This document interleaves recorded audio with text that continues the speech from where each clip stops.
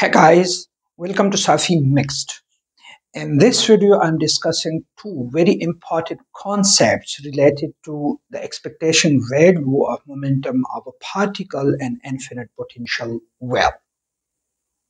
Although the mathematical procedure of the problems is very straightforward, but still, in the first part of this video, I will mathematically prove that the expectation value of momentum is always zero and will subsequently provide a physical base to this vanishing expectation value. In the second part, I will prove that the expectation value of the square of momentum is never zero and will explain the physics behind this never vanishing value of the square of momentum. So I begin to find the analytical expectation value of momentum with respect to the wave function of standard infinite potential well. The wave function for standard infinite potential well is given by this one relation that we know from our previous videos where A is the width of the potential well and x is the instantaneous position of the particle inside the well. We further know that the expectation value of momentum is obtained by sandwiching the operator form of the momentum between the conjugate of the wave function and a wave function and then integrating over the width of the well like I'm writing over here.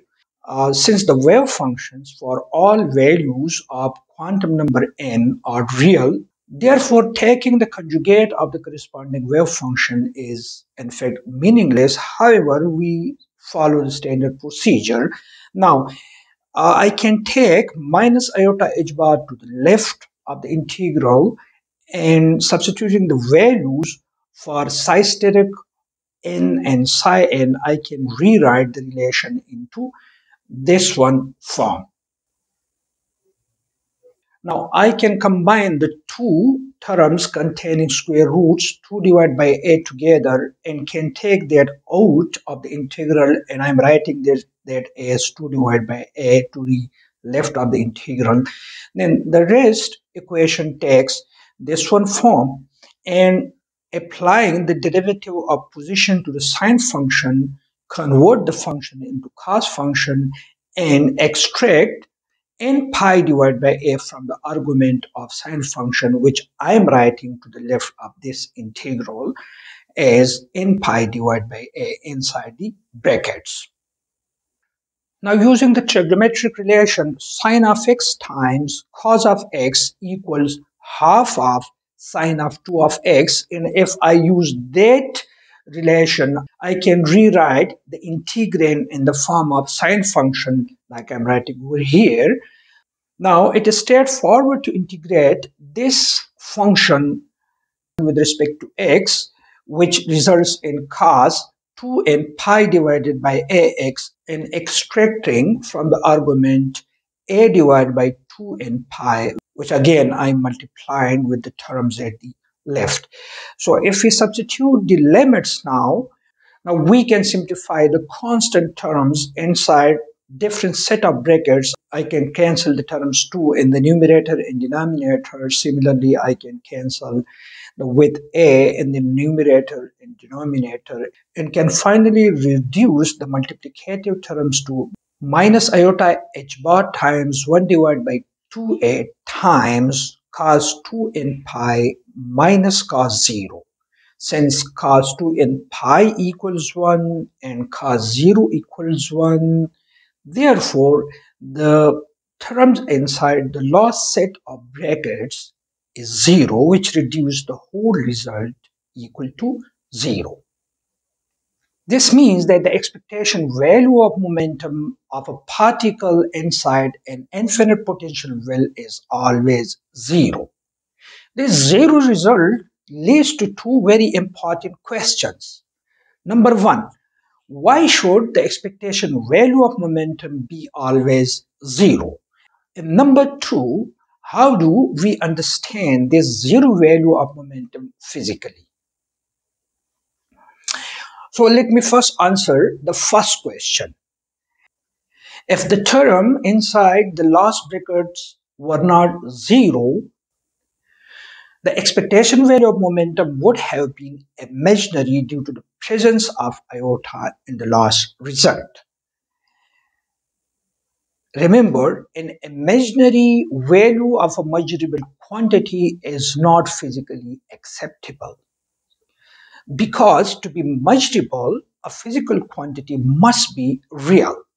Due to this reason, the expectation value of momentum vanishes. Now let me answer the second question.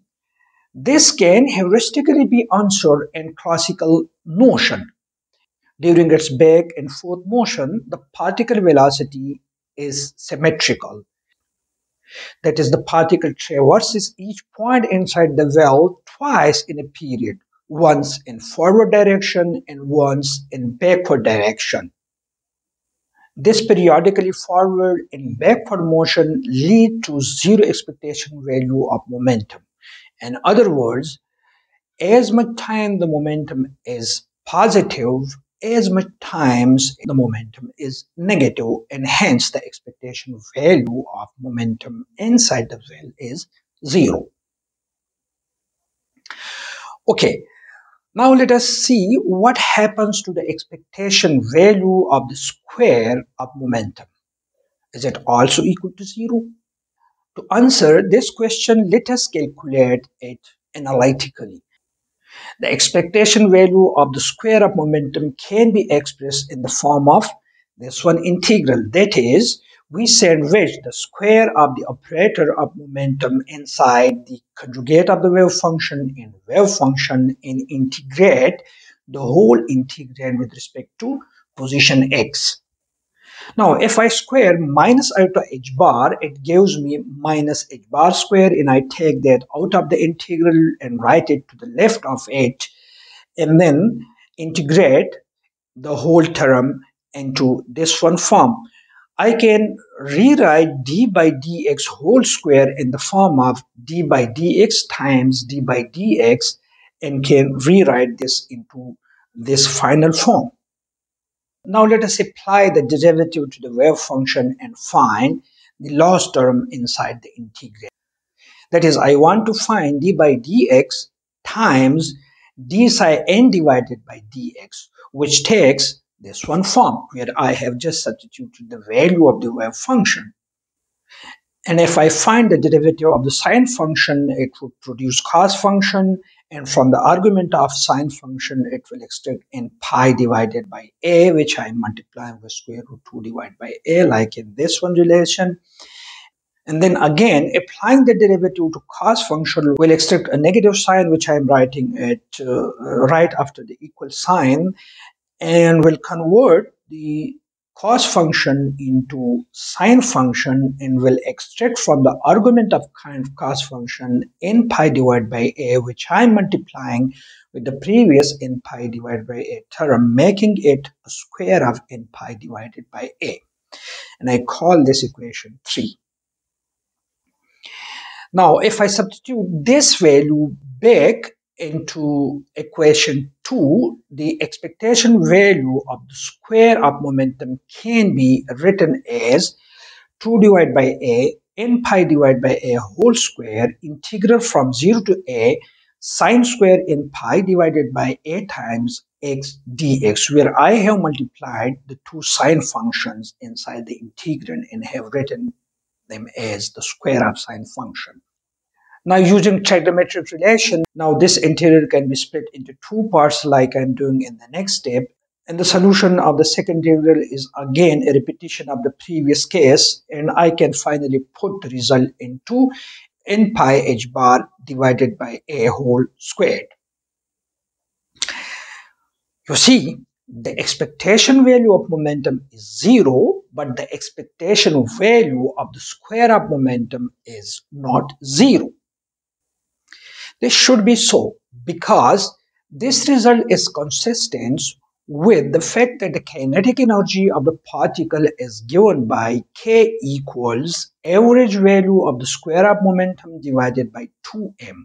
And if I substitute the value, I can put the equation into n square pi square h bar square divided by 2ma squared which is equal to the total energy we have previously calculated in our previous videos and is also in agreement with the zero point energy of the particle.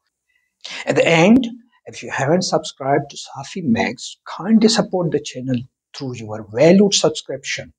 Thanks for watching.